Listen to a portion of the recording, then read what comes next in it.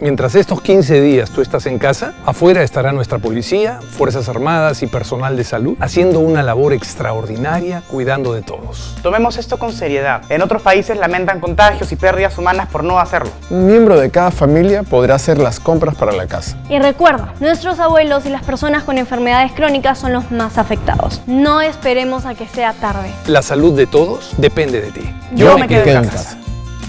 Gobierno del Perú. El Perú primero.